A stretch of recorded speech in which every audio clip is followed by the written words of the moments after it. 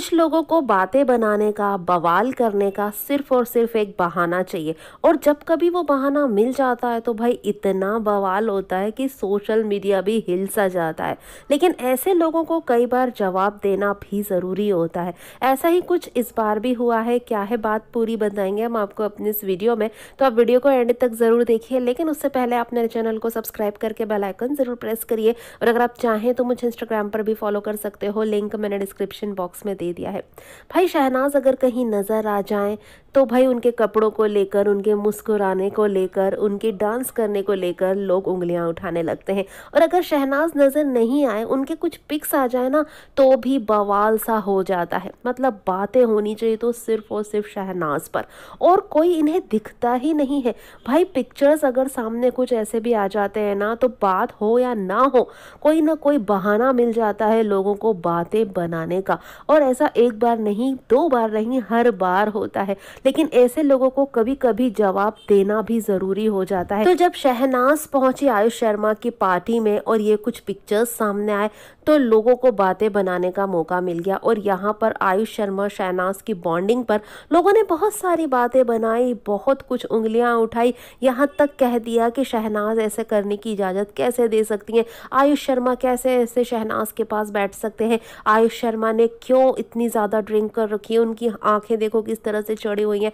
तो भाई, अब ये पिक्चर एक और सामने आया है शहबाज के साथ और यहाँ भी सेम एक्सप्रेशन है आयुष का।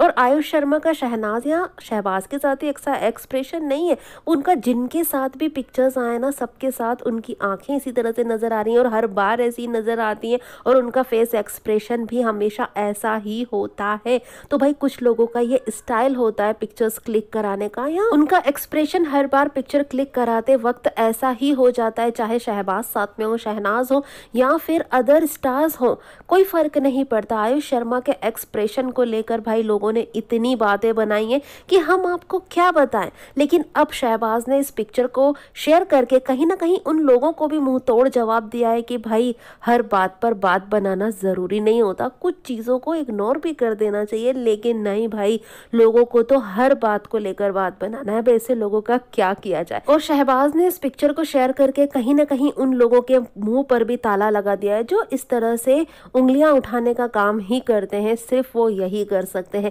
और शहबाज के साथ भी आयुष शर्मा का एक अच्छा सा बॉन्ड नज़र आया और पूरी की पूरी स्टार कास्ट भाईजान मूवी की है।